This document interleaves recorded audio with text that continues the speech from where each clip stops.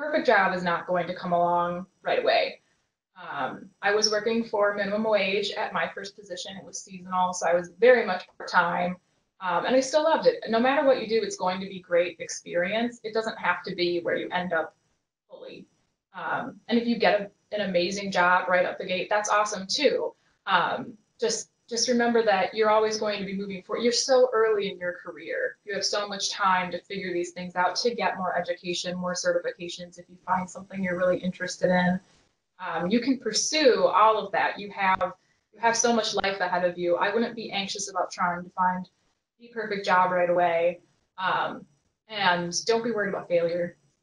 No matter what, you're always going to be building on what you did before and that's what you need is just to create layers on layers on layers. You'll be looking back at your resume and see how this led to this position or this experience led to me learning this. And that's what what's important right now.